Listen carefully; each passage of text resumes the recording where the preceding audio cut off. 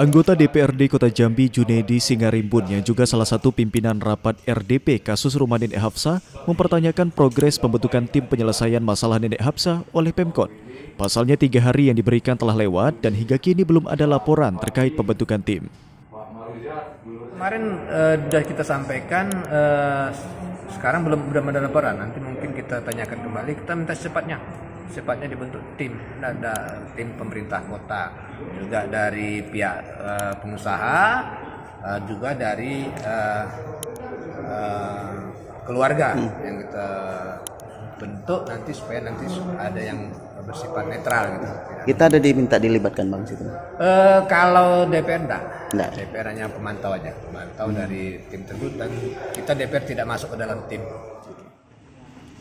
Sementara itu, pemerintah kota Jambi mengaku sudah membentuk tim terpadu untuk menyelesaikan persoalan antara keluarga Nenek Hafsah dengan PT RPSL yang berada di RT 24 Kelurahan Payo Selincah, Kecamatan Palmerah, Kota Jambi.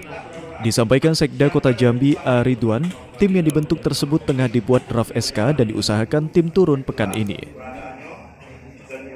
Sudah tiga hari. Sudah tiga hari ada ya, nanti kemarin kami sudah uh, membuat draft SK itu sedang dikaji dipelajari bagian hukum.